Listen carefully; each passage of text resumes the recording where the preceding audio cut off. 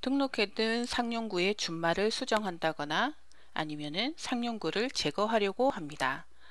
입력 메뉴를 눌러보면 상용구라고 하는 메뉴가 보이죠? 상용구 내용이라는 메뉴를 선택해 주세요.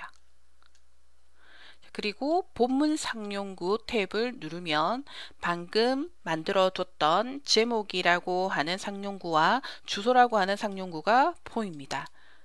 자 이렇게 선택하면 바로 실행이 되기도 하는데요. 근데 단축키 사용이 훨씬 편리하기 때문에 상용구는 Alt I 단축키를 사용합니다. 자 여기에서는 제목이라고 하는 준말을 상용구를 즉 선택을 하고 상용구 편집 버튼을 누릅니다. 그러면 준말을 수정할 수 있도록 나와 있죠. 자 준말을 입력하고 음, 딱히 주소, 어, 주소를 아 제목 제목이네요. 그죠? 음, 제목을 한번 글상자라고 제목 상자 글 상자라고 변경을 해 보도록 하죠. 제목 상자 이미 있네요.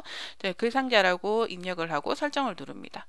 그러면 어떻습니까? 이렇게 상용구 이름이 변경된 것을 확인할 수가 있죠.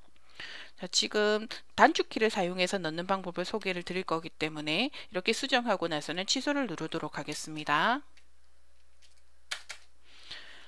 좀 전에 글상자라고 수정한 상용구의 준말을 입력하고 Alt-I를 눌러보도록 하죠. 어떻습니까? 수정된 준말로 상용구가 실행되는 것을 확인할 수가 있죠.